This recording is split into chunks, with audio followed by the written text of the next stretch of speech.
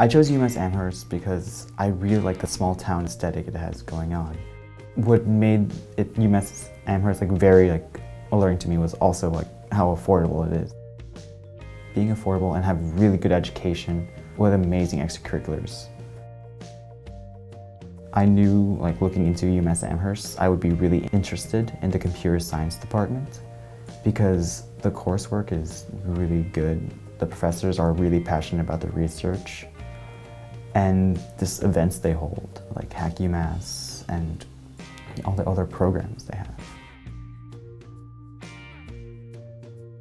My classmates range from just passionate, ambitious, pretty much all sorts of people that are here. People really invested in what they want to like focus on, that they're starting up all these clubs and events, and people are just really passionate about what they want to do. One of my favorite experiences I had at UMass would have to be Hack UMass, which is like a little hackathon UMass holds every year. And uh, one year, uh, I won a prize.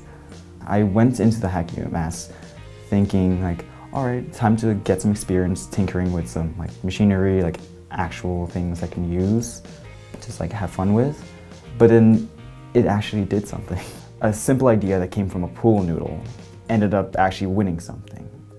I spent the whole weekend with my team just like testing it, pretty much building a whole lot of parts just to make sure it fits, measuring a lot of it.